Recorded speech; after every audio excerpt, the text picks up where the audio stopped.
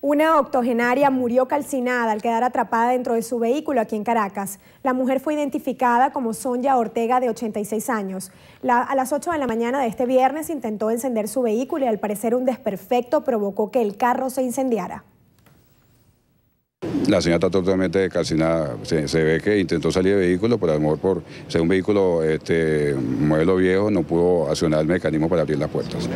El vehículo estaba estacionado en el interior de un edificio ubicado en la urbanización Altamira, aquí en Caracas, donde residía la víctima.